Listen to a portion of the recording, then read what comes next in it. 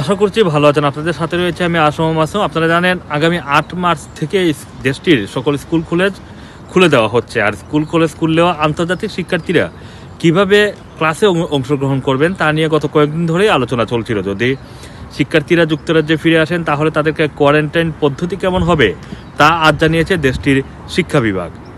আন্তর্জাতিক যেসব শিক্ষার্থীরা দেশটির স্কুল বা কলেজে পড়ছেন তাদের বিভিন্ন স্কুলের বোর্ডিং থেকে বোর্ডিংয়ে থেকে পড়াশোনা করেন। তাদের জন্য নতুন নিয়ম দিয়েছে শিক্ষা বিভাগ।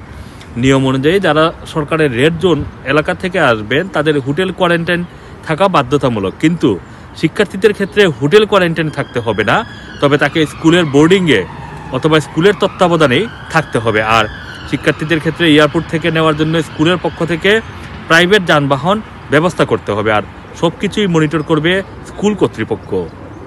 বিষয়টি নিয়ে বোর্ড অফ অ্যাসোসিয়েশন জানায়, সরকারিভাবে হোটেল কোয়ারেন্টাইন ঠিক করা হলেও একজন শিশুর জন্য হোটেল কোয়ারেন্টাইন বিপজ্জনক হবে, কারণ একটু শিশুকে একা হোটেলে রাখা অনেকটাই বিপজ্জনক।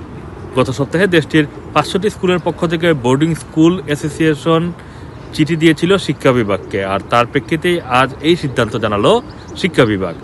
এই ছিল স্কুল খোলা নিয়ে আজকের একটি ঘোষণা, তবে স্কুল খোলার বিস্তারিত তথ্য নিয়ে কয়েকটি বিশেষ সাক্ষাৎকার আমাদের আগের ভিডিওগুলোতে রয়েছে, যেখানে বাংলাদেশি টিচার্স অ্যাসোসিয়েশন ইউকের সাধারণ সম্পাদক শিক্ষক সিরাজুল বাসির চৌধুরী স্কুল খোলার পর কি কি নিয়মের ভিতর দিয়ে যেতে হবে তার বিস্তারিত বলেছেন।